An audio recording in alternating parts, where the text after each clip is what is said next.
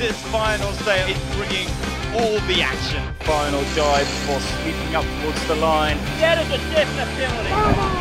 REFX Spinnaker comes down. We're hitting the bottom. Curtis! He can't go in there! There it is, it's a second penalty.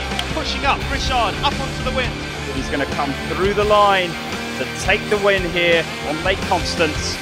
Close off Match Race Germany.